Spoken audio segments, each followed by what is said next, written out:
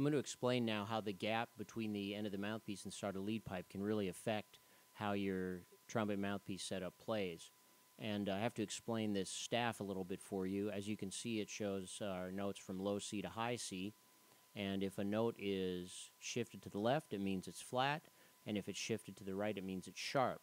Now, the, this is quite an accurate uh, staff slash graph in that the width of the notes is 10 musical cents. And so if they're overlapping, as these are in the vertical, it means that they are within the realm of human discrimination, which is generally considered to be plus or minus 5 musical cents. So this was a, one of our VR2 B-flat trumpets with one of our C-cup mouthpieces and a number 5 coupler, which gives it a, a uh, gap of about 90 thousandths of an inch. And as you can see, it's extremely well in tune with itself. It's definitely at the threshold of human discrimination. All the notes are lined up, they're overlapping, it's very in tune with itself. The next thing we did was to change the gap. We increased it to what would be a number one shank or coupler, and that would give it a gap of about 330 thousandths of an inch. And as you can see, the notes shift around quite a bit. The E top space gets sharp, and everything else gets uh, flat in relation.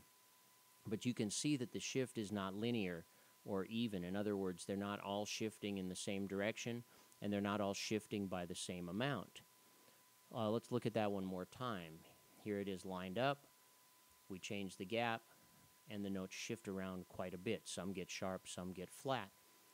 So when, your uh, when your gap is not correct, the relative pitches are not correct. And therefore, you're trying to play the notes and make the horn sound good and be accurate with your attacks and this and that, and you have to compensate for all these weird pitches and stuff. And so I think you can see that having the gap correct is very important to get your horn as well as in tune as possible with your specific mouthpiece.